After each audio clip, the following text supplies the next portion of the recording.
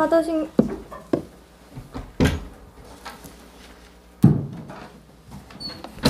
사도신경 하심으로 예배를 시작하겠습니다. 나는 전능하신 아버지 하나님 천지의 창조주를 믿습니다. 나는 그의 유일하신 아들 우리 주 예수 그리스도를 믿습니다. 그는 성령으로 잉태되어 동정녀 마리아에게서 나시고 본디오 빌라도에게 고난을 받아 십자가에 못 박혀 죽으시고 장사된 지 사흘 만에 죽은 자 가운데서 다시 살아나셨으며 하늘에 오르시어 전능하신 아버지 하나님 우편에 앉아 계시다가 거기로부터 살아있는 자와 죽은 자를 심판하러 오십니다. 나는 성령을 믿으며 거룩한 공교회와 성도의 구제, 죄를 용서받는 것과 몸의 부활과 영생을 믿습니다. 아멘. 약할 때 강함 대신에 찬양하시겠습니다.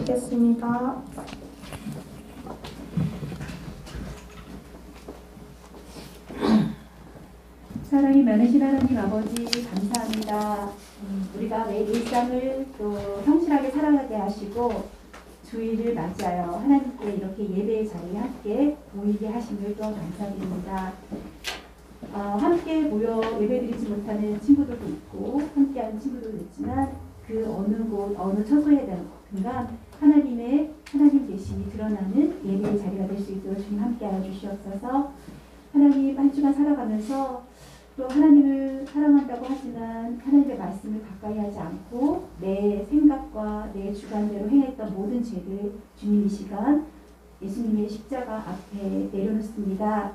주님의 십자가의 보혈로 우리의 죄를 깨끗하게 씻어주시고 이제는 정말 죄와 멀어진 삶, 하나님이 기뻐하시는 모습이 무엇인지를 깨달아 하나님께 더 가까이 갈 수 있는 별모임 청소년도 될수 있도록 주님 함께하여 주시옵소서. 으로 창조, 창조하셨습니다. 그리고 말씀으로 많은 사람들을 치유는 이 시간 하느님 말씀을 듣습니다.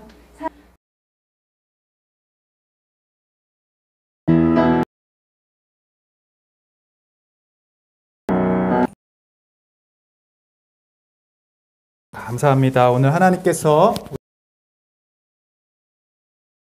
주님 앞에 나와 예배하는 여러분들에게 하나님의 큰 은혜와 아멘.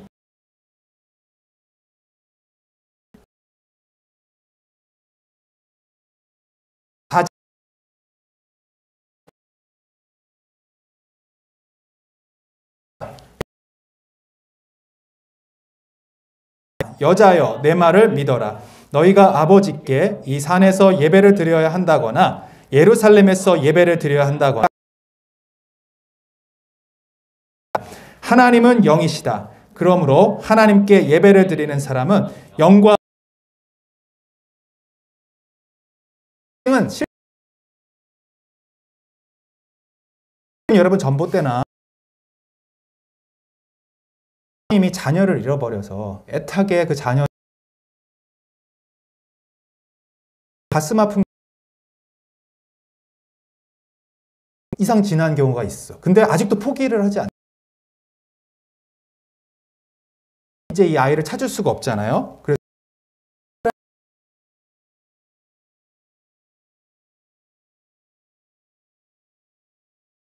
만물을 찾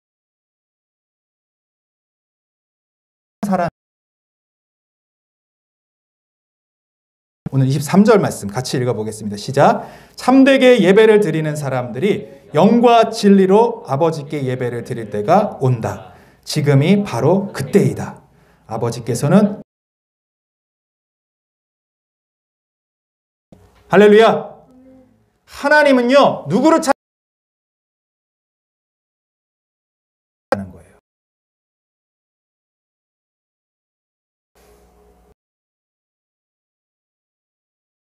드리고 있습니다. 누가 라고 말씀하십니다.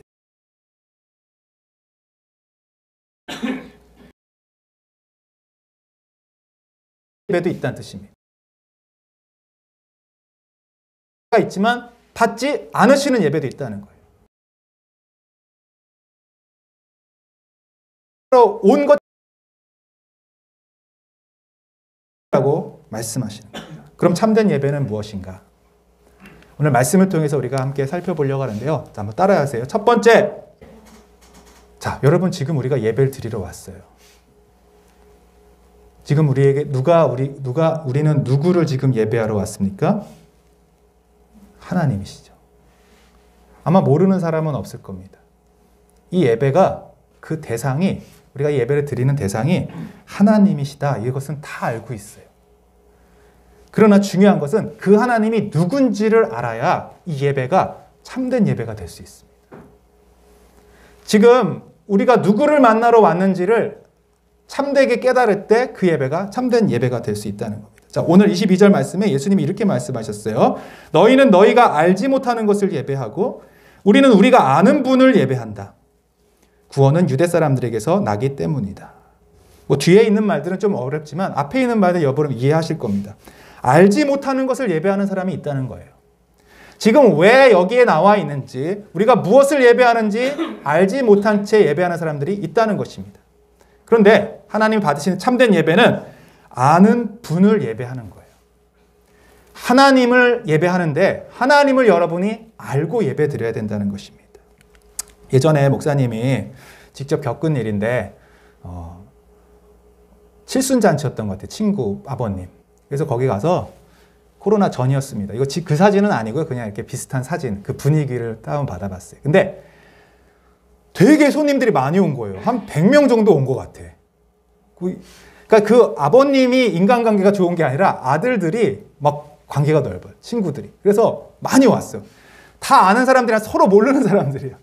그래서 막 무르익고 이제 막 진행이 되는데 이제 안 믿는 분이었던 것 같아요. 그래서 막 술도 좀 마시고 막 노래도 부르고 막 그런 분위기였어요. 목사님 약간 그런 게 좀 어색했긴 했는데 어쨌든 초대 받았으니까 앉아 있었습니다.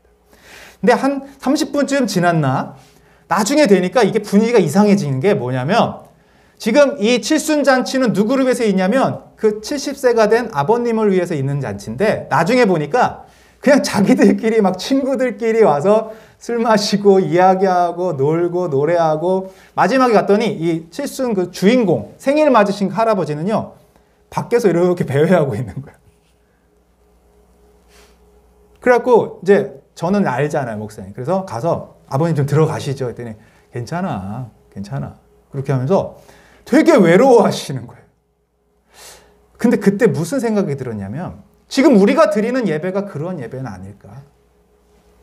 이 칠순잔치가 누구를 위해 존재했습니까? 그 아버님, 생일을 맞은 그분을 위해 존재했는데 결국 그분만 외로워하는 거예요. 그분이 존경받지 못하고 있고 사랑받지 못하고 있고 명목은 그렇게 모였는데 결국은 자기들끼리 즐기는 그리고 자기들끼리 히히닥거리는 그런 예배가 되어뒀다는 것이죠. 여러분 우리가 이 예배에 다 하나님을 만나러 온다고는 이야기하지만 사실은 정말로 하나님을 만나고자 오는 사람들이 과연 있을까? 습관이 돼서 9시가 되고 뭐 11시가 되고 아 예배가 시간이 됐구나 그냥 자동 반사적으로 나오는 것도 참 귀한 일입니다만 중요한 것은 왜 우리가 여기 와 있는지 이 자리에 우리가 만날 분이 누군지 선생님도 아니고 친구도 아니고 정말 본질적으로 우리가 하나님을 예배하러 왔는지 이 부분을 잘 점검하셔야 돼요. 안 그러면 그 예배는 참된 예배가 되지 못할 확률이 많습니다. 실패할 예배가 될 수가 있습니다. 결국 하나님은 이 자리에 와서 여러분을 찾고 계시는데 누가 참되게 예배하는가 찾고 계시는데 아무도 만나지 못하는 그런 불행한 일이 일어날 수 있다는 것입니다. 그렇다면 우리는 시간을 낭비하는 것이죠. 이곳에 와서 하나님을 만나지도 못한 채 헛된 시간을 보내는 것이죠. 오히려 하나님의 마음을 슬프게 하고 불편하게 할 수 있다는 것입니다. 또 하나, 하나님을 안다라는 것은요, 하나님을 꼭 만나야겠다는 그 마음을 갖는 것 뿐만 아니라 하나님이 어떤 분이신지를 알고 예배 드려야 돼요. 자, 따라합시다. 하나님은 하나님은 거룩하신 분이십니다. 거룩하신 분이라는 것은 죄를 미워하신다는 거예요. 깨끗하지 않은 마음을 그 마음으로 하나님을 만날 수가 없다는 뜻입니다. 이에 가운데 올 때에 하나님을 만나러 온다는 것은 우리의 몸과 영혼이 하나님 앞에서 거룩해져야 하나님을 만날 수 있는 것입니다. 사실은요, 우리 구약 시대 예배를 보면 오늘날의 구약 시대 예배는 제사라고 하는 제도를 통해서 하나님을 예배했어요. 거기에는 동물 울음소리만 났어요. 동물이 죽어서 피를 흘리는 그 피비린내가 나는 곳이었어요. 끔찍한 으악 동물들이 비명 소리들만 나는 곳이었어요. 그 끔찍한 곳이에요. 막 오늘날처럼 막 환영하고 간식도 나눠주고 막 좋은 설교도 있고 음악이 있는 곳이 아니라 그 예배 자체는요 죽음이 있는 곳이었어요. 보시면 아시겠지만 동물들 하나님께 예배드리는 그 순서는 뭐냐면 동물들을 잡아서 가죽을 벗기고 또 고기들을 다 내장들을 빼낸 다음에 그것을 불에 태워서 하나님께 올려드리는 거예요. 그리고 하나님은 그 태운 연기와 그 제사를 받으시는 겁니다. 이게 예배였어요.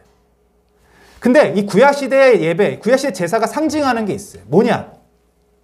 하나님은 거룩하신 분이기 때문에 하나님은 죄를 반드시 심판하셔야 된다는 거예요.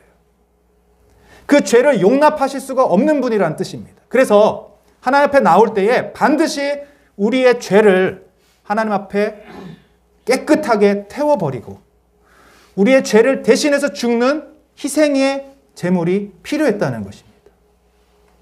오늘 우리가 예배 나올 때 어떤 마음으로 나와야 되는가? 거룩한 마음, 하나님을 거룩하게 아는 마음으로 우리 또한 성결하고 깨끗한 마음으로 나와야 돼요. 근데 우리가 스스로 깨끗할 수가 없는 거예요. 지난 한 주간의 삶을 여러분 어떤 삶을 살았는지 모르지만 그 마음 그대로 하나님 앞에 나와 예배한다면 하나님은 예배를 받으실 수가 없어요. 그래서 우리를 대신해서 제물이 되신 분이 바로 예수님이라는 겁니다. 이게 바로 예수님을 상징하는 것이었어요.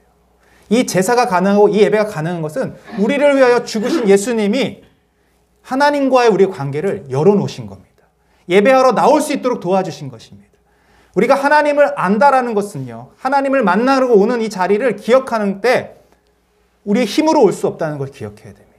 이 예배를 반드시 예수님의 희생과 그 사랑으로 그 피 흘리심으로 우리가 용서받았고 그래서 예배가 가능하다는 것을 기억하셔야 되는 겁니다. 여러분 그러면 예배 나올 때 우리가 어떤 마음으로 나와야겠습니까? 하나님을 만나는 이 자리가 어떤 자리가 되어야겠습니까? 먼저는 이 자리에 오시자마자 바라기는 먼저 우리의 죄를 하나님 앞에 고백하고 깨끗하게 해달라고 기도하시기를 바랍니다. 그냥 앉아서 바로 찬양 들어가고 그냥 앉아 바로 설교 듣고 그게 예배가 아니에요. 다 실패한 예배가 되기 쉬워요. 사람들 바라보고 하하하호 웃고 그냥 친교 나누고 그러고 돌아가면 반드시 그것은 참되지 못한 예배가 될 확률이 많습니다. 먼저 이 자리에 와서 우리를 예배할 수 있도록 도우신 하나님의 은혜에 감사하고 한 주간도 그 은혜를 잊지 못 잃어버린 채 살았던 우리의 잘못들을 고백하고 회개하고 예수님의 보혈의 피로 우리를 깨끗이 씻어달라고 기도하셔야 돼요. 그리고 하나님을 만나야 되는 것입니다. 거룩하신 하나님을 만나는 그 예배. 하나님이 거룩하심을 아는 예배. 그 예배를 하나님이 받기 원하십니다. 특별히 여러분, 이 제사와 관련해서 하나님은 섬김을 받으시는 분이라는 것도 기억해야 돼요. 참된 예배는 뭐냐? 하나님을 섬기는 예배예요. 이 구약 성경에 이 예배를 히브리어로는요 아바드라고 합니다. 근데 이 아바드란 뜻은요 다른 게 아니라 섬긴다, 바친다, 드린다 이런 뜻이 있어요.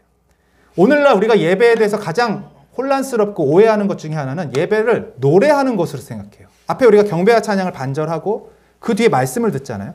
그러니까 큰 두 축을 나누면 예배를 찬양 부르고 말씀 듣는 것으로 생각하는 경우가 많다는 거예요.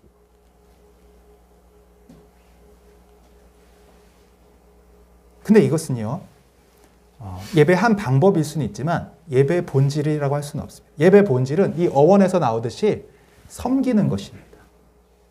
찬양으로 하나님께 올려드리는 거예요. 찬양을 불러서 우리의 마음을 여는 게 목적이 아니라 이 찬양을 부름으로 하나님을 높여드리는 것입니다. 하나님께 우리의 달란트와 우리의 재능과 우리의 목소리로 주님을 섬겨드리는 것. 이것이 바로 예배라는 것입니다. 또 무엇으로 우리가 섬길 수 있습니까? 우리가 가진 물질로 헌금을 바침으로 하나님을 섬길 수가 있습니다. 또 무엇을 섬길 수 있습니까? 여러분 이 시간 나오는 그 자체가 시간과 몸을 드리는 그 자체가 바로 섬김이 될 수 있는 것입니다. 우리 선생님들이 지금 이렇게 많이 섬기고 계시잖아요. 이 예배를 섬기는 겁니다. 근데 정확히 말하면 여러분을 섬기는 것도 아니고 이 예배가 잘 굴러갈 수 있도록 하는 것도 아니고 각자가 맡은 하나님의 일들을 통하여 하나님을 섬기고 예배하는 것입니다. 여러분, 우리가 이것을 기억해야 돼요. 여러분도 이 시간 와서 앉아 있는 것이 중요한 것이 아니라 시간과 마음과 뜻과 정성을 들여 하나님을 높여드리고 섬겨드려야 돼요. 그래야 그 예배가 하나님이 찾으시고 하나님이 받으시는 예배가 되는 것입니다. 헌금 바구니가 있는데 어, 예전에 리빙스턴이라는 아프리카의 선교사 되게 유명한 선교사님이 계셨어요. 아프리카의 아버지라고 불릴 정도로 훌륭한 분이 계셨는데 이분이 어렸을 때 여러분 말할 때 아마 조금 더 어렵겠죠. 가난하게 살았던 것 같아요. 그래서 헌금 바구니가 이렇게 돌아가는데 우리는 이제 돌리지는 않지 않습니까? 근데 미국에도 보면 이렇게 영국에도 보면 돌려요. 그런데 이 리빙스턴이 어렸을 때 본인이 드릴 수 있는 게 아무것도 없는 거예요. 하나님을 섬기는 예배에 자기가 드릴 수 있는 게 없는 거예요. 그래서 이 어린 마음에 이 아이가 진짜 우스꽝스럽지만 그 헌금 바구니에 자기가 막 들어가려고 하는 거예요. 손도 넣고 발도 넣고 몸도 넣고 들어가 보려고 하는데 안 들어가지잖아요. 뭐 하는 거냐고 이제 헌금 위원들이 말렸겠죠. 그랬더니 막 거의 울음이 터질 그런 얼굴로 제가 드릴 수 있는 게 없어서 그래요. 저는 가진 게 없어서 그래요. 근데 하나님께 뭔가 드리고 싶어요. 그래서 제 몸을 드리고 싶어요. 제 마음을 드리고 싶어요. 그때 이 헌금 위원분들도 감동을 받으시고 그 예배가 정말 이 예배 드리는 목적이 무언가 그 아이의 그 행동 하나로 다시 모든 성도님들이 회개하고 하나 앞에 섰다는 얘기가 있어요. 그리고 정말 나중에 그 아이는요 그 자신의 마음과 몸을 드리는 그 모습을 결국 삶으로 나타내서 그 삶으로 하나님을 섬기는 참된 예배자가 되었습니다. 여러분 정말 지금 이 얘기를 들으면 정말 우스꽝스럽고 과연 그런 일이 있었을까 할 만큼의 비현실적인 얘기죠. 그런데 하나님은요, 그런 예배를 지금도 찾고 계십니다. 이 11시가 되면 아마 전국에 많은 교회에서 예배들이 드릴 거예요. 또, 물론 시차가 있겠지만 전 세계 모든 나라의 교회들이 함께 예배를 드릴 겁니다. 얼마나 많은 사람들이 예배를 드릴 거예요. 근데 오늘 말씀에 뭐라고요? 예수님께서 참되게 예배하는 자를 지금 찾고 계신다는 겁니다. 그렇게 많은데도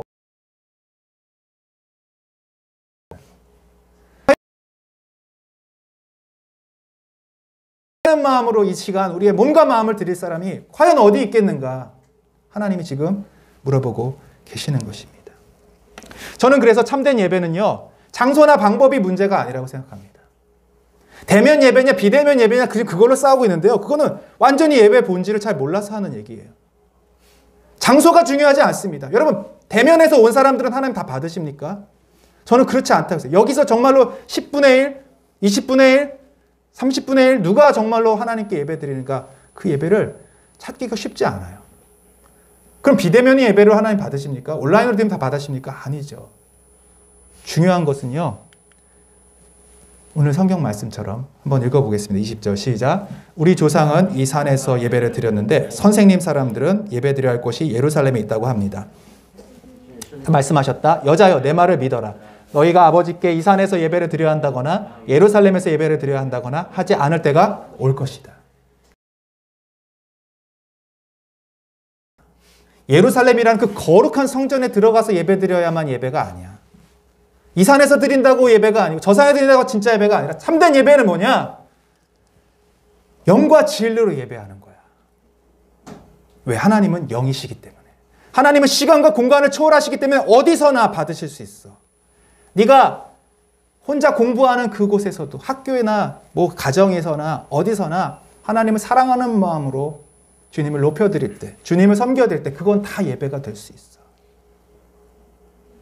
근데 중요한 건 뭐냐? 영과 진리의 예배를 드려야 한다는 것입니다. 방법의 문제가 중요하지 않습니다. 여러분, 이 악기도요, 예배를 통해 어떤 악기들을 사용하든 그것이 정말로 하나님께 올려진다면, 그 중심이 하나님께 받아진다면 다 사용할 수 있어요.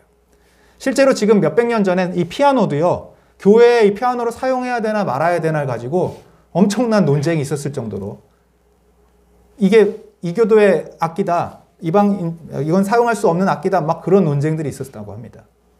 근데 지금은 어떻습니까? 당연히 아름답게 하나님을 예배하고 있지 않습니까? 처음에 교회 드럼이 들어왔을 때 난리가 났었습니다. 한국 교회. 어찌 이런 악기로 어? 방자한 그래서 막 장로님들이 드럼 때문에 막 싸우고 그런 교회들이 많았어요. 근데 지금은 어떻습니까? 여러분 다 경배와 찬양하는데 보면 다 그것들이 사용되고 있지 않습니까? 방법이 중요하지 않아요. 어떤 방식이든 우리가 중요한 건 뭐냐? 영과 진리로 예배하는 참된 예배. 그것이 무엇인가? 한번 따라합시다. 영과 진리로 드리는 예배. 영과 진리로 드리는 자, 영 영으로 드린다는 것은요. 정확한 어원 어, 원어로 따지면 영 안에서입니다.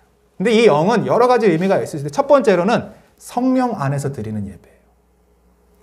이 예배가 여러분 우리가 동물과 다른 점 하나는 뭐냐면 동물은 영혼이 없어요.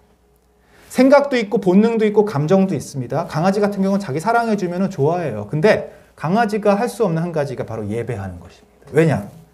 영혼이 없기 때문에 그래요. 하나님께서 우리 안에 사람을 만드시고 사람 안에 생기를 부을 때 그 푸뉴마라고 하는데 그 영이 우리 가운데 들어왔어요. 하나님의 생명이. 그래서 우리가 예배할 수 있는 존재가 되었습니다. 하나님과 교통할 수 있는 존재가 되었어요. 여러분 이 자리에 왔는데 우리가 예배 드릴 수 없는 이유는 뭐냐면 이 영이 막혀 있어서 그래요. 하나님을 느낄 수 있는 영이 병들어 있기 때문에 죽어 있기 때문에 불신자가 하나님을 알- 모르는 자가 구원받지 못한 사람이 예배하면요 그 예배를 드릴 수가 없어요. 어떻게 보면 많은 청소년들이 예배 드릴 때 이렇게 고개를 푹 숙이고 이 예배에 나아가지 못하는 이유는요 안 드리고 싶어서가 아니라 느낌이 없는 거예요. 영으로 하나님을 만나는 느낌을 가질 수가 없는 거예요. 막혀 있는 겁니다. 단절된 거예요. 그러니까 안타깝죠. 드리고 싶은데 어떻게 하는지도 모르고 마치 동물들이 하나님을 예배하자고 해도 그냥 막 그 먹을 걸 찾아다니는 그런 것처럼 그냥 본능에 의해 있기 때문에 하나님을 예배가 할 수가 없는 거예요. 그래서 영으로 예배한다는 건 뭐냐? 먼저는 하나님과 영으로 교통해야 돼요. 만나야 돼요. 살아있는 하나님의 영혼으로 하나님과 연결돼야 돼요. 근데 그걸 누가 가능케 하시냐면 성령님이 가능케 하시는 거예요. 그래서 여러분 예배 오면요. 첫 번째로 기도해야 돼요. 어떤 기도를 드냐면 하나님 이 예배 가운데에 내가 성령 안에서 예배할 수 있도록 도와주시옵소서. 우리 보통 예배 오면 먼저 이렇게 기도하라고 하잖아요. 근데 뭘 기도합니까? 성령님이 이 예배를 주관해 주시고 내가 성령 안에서 예배할 수 있게 해주세요. 내 힘으로. 내 아니라 시간 성령님이 저와 먼저 드리셔야 됩니다. 그것이 성령 안에서 드리는 예배입니다. 그럴 때 하나님이 예배를 받으시는 거예요. 몸만 와 있으면 안 되고요. 여러분의 영혼을 하나님 앞에 올려 드리는 예배가 되시길 주님의 축복합니다. 두 번째는요. 진리 안에서 드리라는 건 뭐냐면 예수님이 진리시거든요. 예수님이 진리가 되세요. 예수님으로서 우리가 예배가 가능해진 거. 아까도 말씀드렸지만 예수님이 우리를 십자가에서 죽지 않으시면요. 우리는 하나님께 나아갈 수, 하나님께 우리가 나아가면 우리는 거룩하지 못하기 때문에 하나님의 진노를 받아요. 심판을 받습니다. 그런데 예수님이 우리를 위하여 죄를 용서해 주셨기 때문에 그 예수님 안에서 우리가 하나님을 만날 수 있는 겁니다. 예수님이 쉽게 말하면 하나님과 우리 사이를 연결시키는 통로가 되었어요. 그 예수님이 우리를 위하여 죽으셨다는 사실을 믿고 그 피가 우리를 깨끗하게 하셨다는 것을 믿고 그 나아가는 예배가 진리 안에서 드리는 예배입니다. 또 하나는요. 성경 말씀이 진리죠. 이 예배는 그래서 말씀이 필요한 겁니다. 이 말씀을 마치 가이드북 드리는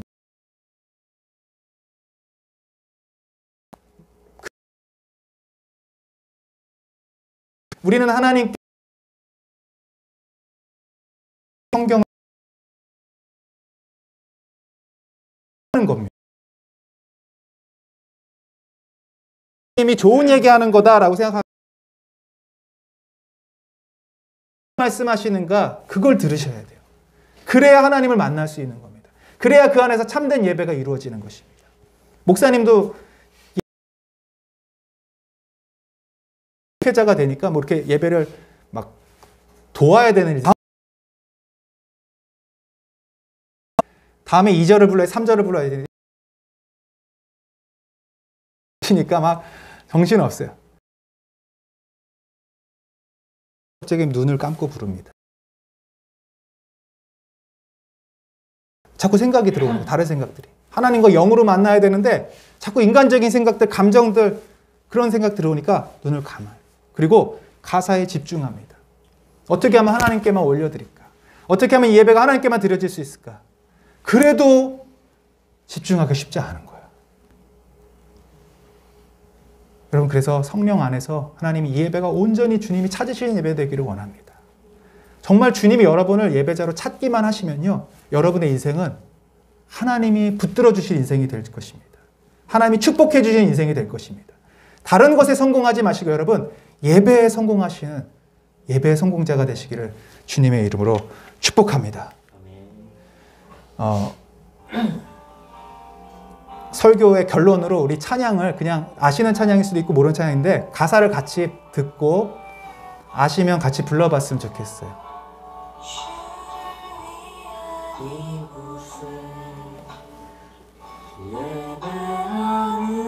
목사님 설교와 좀 이렇게 기억하시면서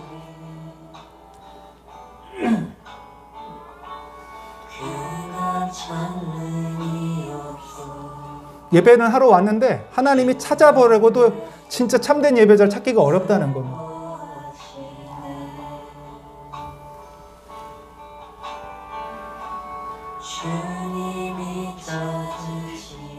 다른 사람 몇 사람이 아니라 한 사람을 찾고 계셔요. 그 예배자를 찾고 계셔요. 주님, 제가 그 예배자 되기를 원합니다.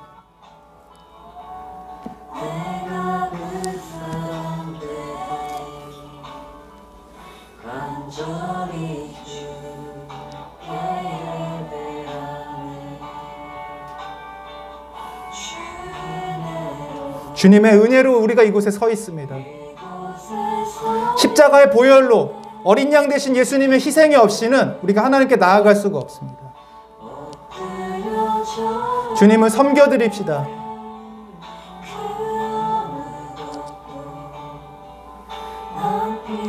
주님의 사랑으로 우리를 채워주시고 주님의 은혜로 채워주시옵소서.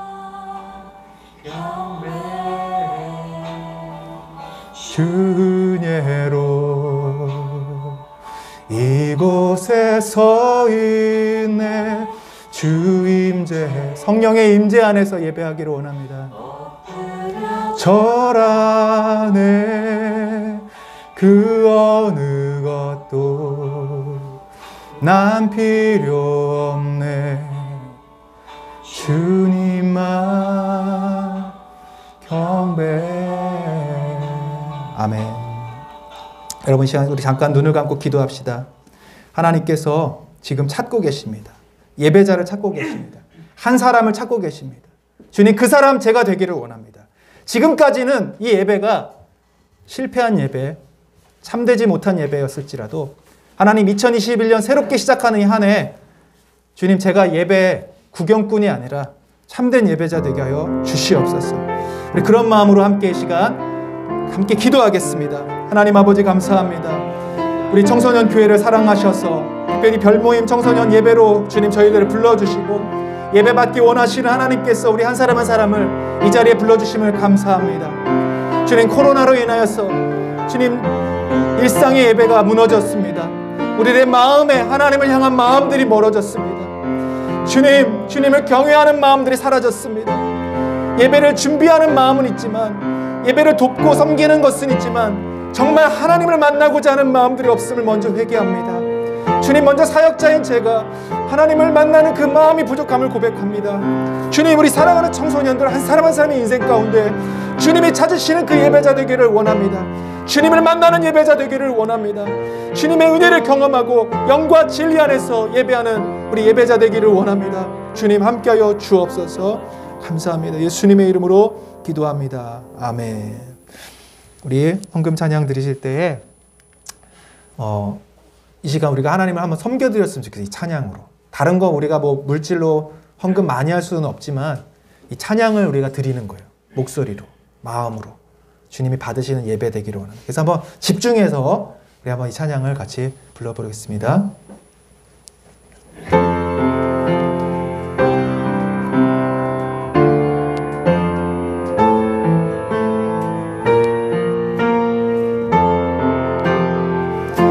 약할 때 강함 대신에 약할 때 강함 대신에 나의 보배가 되신 주, 주 나의 모든 것. 주 안에 있는 보물은, 주 안에 있는 보물은 나는 포기할 수 없네. 주 나의 모든 것. 예수 어린 양, 예수 어린 주님이 어린 양 되셔서 우리 예배가 가능하게 하셨습니다. 주님이 어린 양 되셔서 우리 예배를 받아주십니다. 예수 어린 양 종비하니 십자가 제사하셨네. 한 번 더 하겠습니다. 십자가 죄사하셨네. 주님의 이름 찬양해. 주 나의 모든 것.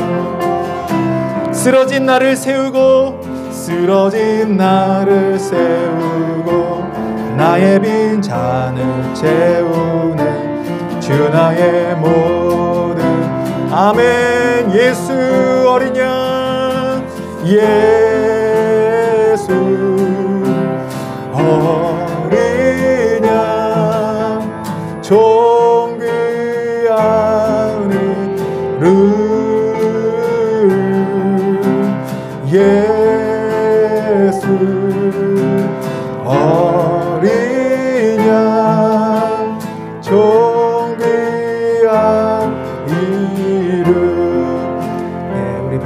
선생님께서 기도해 주시겠습니다.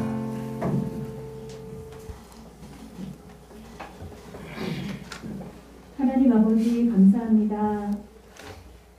하나님이 애타게 찾으시는 그 한 사람, 그 한 사람의 예배자가 청소년부 각 사람이 될 수 있도록 주님 함께하여 주시옵소서. 아멘. 하나님 영과 진리로 하나님께 나아간다는 것 얼마나 값지고 소중한 것을 저희들이 깨달았습니다. 예수님의 십자가 저희 같은 죄인을 주님께서 친히 사랑하사 십자가에 피 흘려 돌아가시고 저희를 구원하신 그 놀라운 사랑의 은혜로 말미암아 아버지 앞에 나갈 수 있는 저희들입니다. 하나님 그 은혜를 기억하며 하나님과 늘 만나기 원하고 소원하는 별모인 청소년분 될수 있도록 주님 함께하여 주시옵소서. 아멘. 하나님 한 주간 상주에서 이모저모 진로에 대한 부분들 또한 관계의 문제들 어려운 부분들이 있을 때마다 우리 친구들 하나님과 깊은 교제 가운데 하나님을 만나는 가운데 하나님의 일하심과 하나님의 능력을 믿는 감사의 고백이 날마다 넘쳐날 수 있도록 주님 함께하여 주시옵소서. 아멘. 하나님 아버지 우리 청소년 친구들 많은 것들을 주셨습니다. 내 안에 주신 모든 달란트를 통해서 하나님이 나를 사용하실 것을 기대하며 하나님께 의지하며 감사하며 매일매일 일상을 성실히 최선을 다해서 살아갈 수 있도록 주님 함께하여 주시옵소서. 아멘. 또한 아픈 자리에 있는 친구들이 있습니다. 육신이 연약하여서 고통 가운데 있는 친구들을 주님 찾아가 주셔서 정말 치료하여 주시고 건강한 몸으로 이 예배자에 나올 수 있도록 주님 함께하여 주시옵소서. 아멘. 또한 어, 많은 어려움 가운데 있는 친구들에게도 주님 함께하여 주셔서 하나님을 찾는 그 자리가 될 수 있도록 주님 인도하여 주시옵소서. 아멘. 다음 주 한 주도 우리 친구들 삶 속에서 동행하신 하나님을 기쁘게 찬양하는 감사하는 우리 친구들 될 수 있도록 주님 함께하여 주시옵소서. 드려지는 귀한 손길에 주님 축복하시고 이 물질이 쓰여지는 곳곳마다 예수 그리스도의 복음의 향기와 회복의 역사와 치유의 역사가 일어날 수 있도록 주님, 주님 귀 사용하여 주시옵소서. 아멘. 다음 주 한 주에도 우리 친구들 삶 속에서 고백되는 하나님을 믿음의 고백으로 드려질 수 있는 귀한 마음과 손길이 될 수 있도록 주님 축복하여 주시옵소서. 아멘. 예수님 이름으로 기도드립니다. 아멘. 네, 몇 가지 광고 드리도록 하겠습니다. 여러분 우리 이름 별모임 아시죠? 별모임 청소년 교회 광고입니다. 첫 번째 예배 시간 11시 11분으로 바뀐 거 알고 계시죠? 네. 기억해 주시고 또 온라인으로 예배 드린 친구들도 11시에는 적어도 미리 준비하셔서 들어올 수 있도록 하시면 감사하겠습니다. 2월 달부터는 우리 청소년 교회 예배 후에 우리 반별 모임을 좀 가지려고 해요. 그래서 반을 지금 짜고 있습니다. 세 반 정도로 나눌 텐데요. 어, 단순히 뭐 공과 공부를 배우는 것이 아니라 예배 후에 여러분 기도 제목을 선생님들과 함께 나누고 또 친구들과도 함께 나누고 같이 교제하고 기도하는 시간들 가지려고 그래요. 그래서 좀 코로나가 좋아지면 반별로 맛있는 것도 좀 먹고 또 주중에도 만나서 교제하는 그런 시간들 가질 텐데 여러분 기대해 주시고 그냥 예배만 드리고 가는 게 아니라 이곳에 와서 하나님도 만나고 우리 사람들 간에 또 친구들 간에 교제도 하는 그런 청소년 교회가 되기를 바라겠습니다. 자, 그리고 이거는 이제 선생님들과 관련한 어, 공- 어, 광고인데 지금 선생님들이 여러분들 잘 교육하기 위해서 우리 교사 교육을 위해 책을 읽고 나눔을 하기로 했습니다. 그래서 아마 오늘 한 권씩 가져가실 텐데 읽고 또 발표도 하고 또 여러분들을 더 잘 가르칠 수 있도록 기도하며 준비하는 선생님들 되려고 합니다. 여러분들 많이 기도해 주시기를 바라겠습니다. 아멘. 자, 우리 다 같이 일어나셔서 결단의 찬양 부르시고 예배를 축도로 마치겠습니다.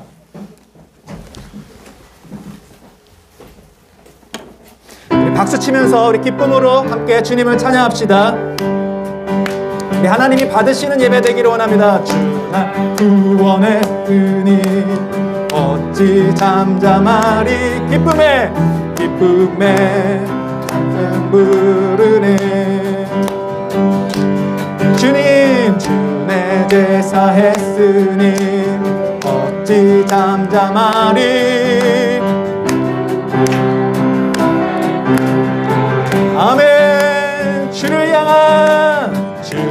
향한 나의 사랑. 멈출 수 없네. 멈출 수 없네. 주를 향한 주를 향한 나의 설정 멈출 수 없습니다. 멈출 수 없- 우리 큰 소리로 찬양합시다 춤추리 내 모든 슬픔 바꾸셨네.